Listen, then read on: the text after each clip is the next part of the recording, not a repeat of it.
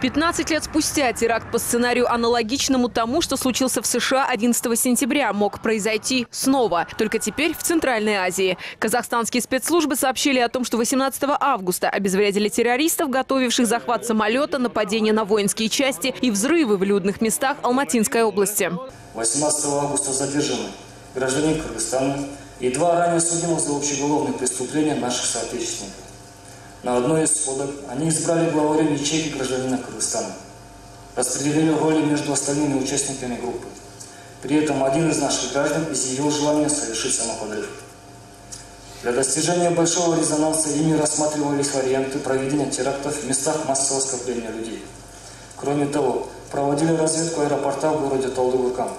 Изучали возможность угона гражданского и военного самолета для совершения резонансного террористического акта по аналогии с нападениями 11 сентября 2001 года в США. Международный терроризм – это полный интернационал, считают эксперты. Опять же, только из нашей страны, по официальным данным, более 500 человек. В их рядах сегодня выходцы отовсюду, в том числе и руководители. Новым военным командиром исламского государства Ирака и Ливанта стал бывший полковник спецназа Таджикистана Гулмурод Халимов. Далеко не из числа необразованных рекрутов. Его предшественником был гражданин Грузии Тархан Батирашвили, известный как Абу Умар Аш-Шишани. Может быть, вам покажется это факты единичными, но само исламское государство состоит из сотрудников силовых структур, правоохранительных органов и так далее.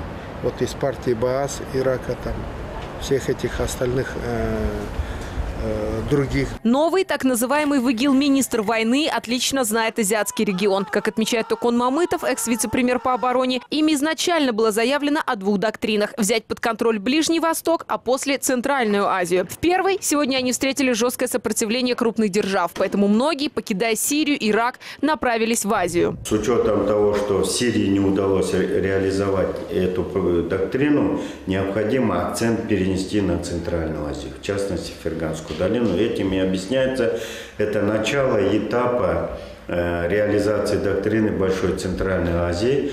Дело вот в чем. Э, э, Они до сих пор совершили нападения и террористические акты в Туркменистане, в Узбекистане, в Таджикистане, в Казахстане.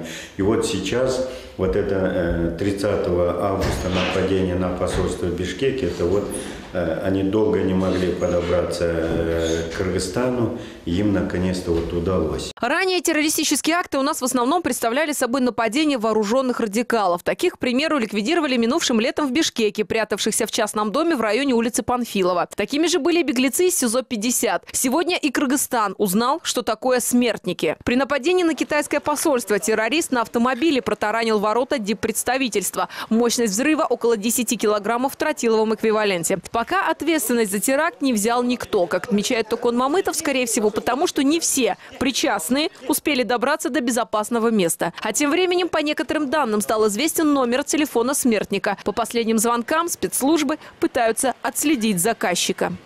Елена Яковлева, Манас Бакешев, НТС.